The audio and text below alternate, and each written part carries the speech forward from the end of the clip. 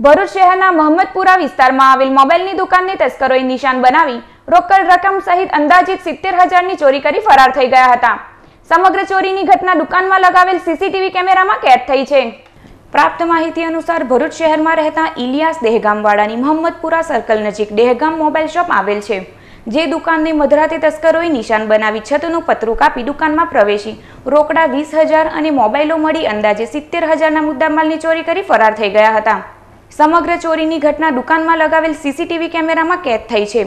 ચોરીની ઘટના અંગે દુકાનદારે ભરૂચ બી ડિવિઝન પોલીસને જાણ કરાતા પોલીસ કાફલો સ્થળ પર દોડી આવી. ચોરી અંગે ગુનો નોંધી દુકાનમાં લગાવેલ સીસીટીવી કેમેરાના ફૂટેજ મેળવી તપાસ હાથ ધરી છે.